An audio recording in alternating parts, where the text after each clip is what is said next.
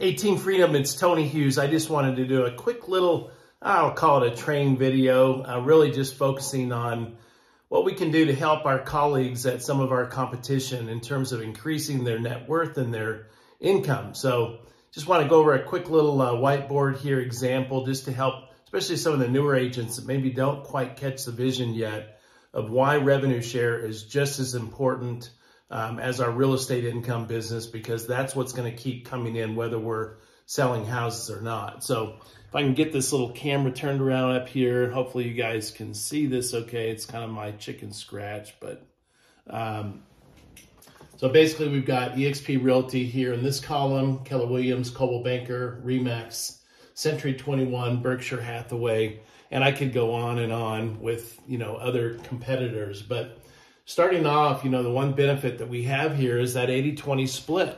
You know, and a lot of agents don't really sit down to do the math on that with their calculator, but you sell a, you know, a $333,000 home at 3%, that's a $10,000 gross commission.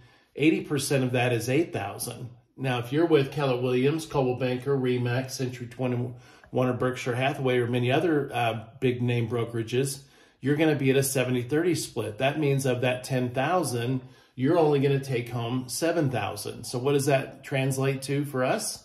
More cash flow when we're with EXP because of our 80-20 split as opposed to all of our competition's old model of 70-30 split. But it gets worse for our competition because they're not really at a 70-30 split.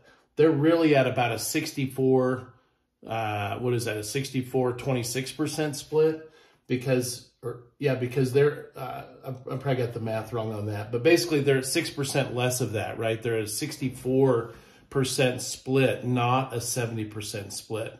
So that's even worse for their cash flow. They're going to take home less income because they've got to pay out 6% on top of the 70% split to their brokerage. Same with Coldwell Banker. Their, their uh, franchise fees are anywhere from 6 to 8%. Same with Remax, Century 21, Berkshire Hathaway, I believe, is a little bit more. Um, so from a cash flow perspective, EXP clearly has all of these competitors beat.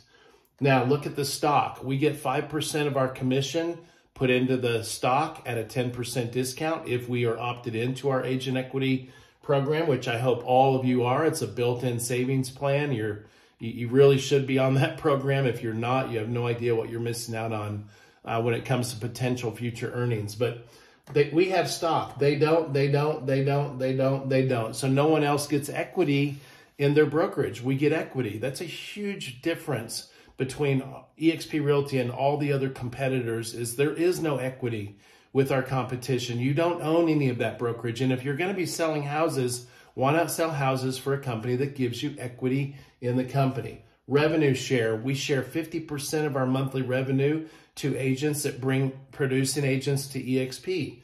They get no rev share at KW, no rev share at Coldwell Banker, none at Remax, none at Century 21, none at Berkshire Hathaway, and many others, right? So no other company out there is sharing 50% of their monthly revenue to agents that are helping to grow the company vis-a-vis agent attraction, right? Quarterly dividends. We get four cents, four cent per share dividend every quarter I got a little check, you know, a couple months ago and I had to call into EXP because I had no idea what it was for. It was like 285 bucks. And they said, oh, that was your dividend check.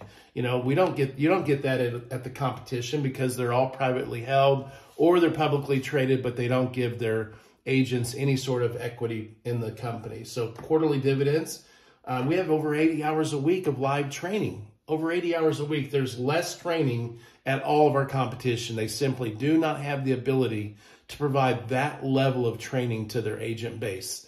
They just have too many, too much overhead, uh, too many expenses, and they just can't, they can't afford it, frankly.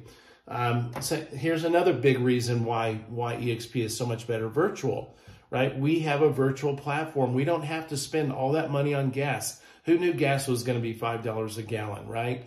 Uh, you know, a couple years ago. So the virtual platform allows us to be far more efficient than our competition and it allows us to save additional cost.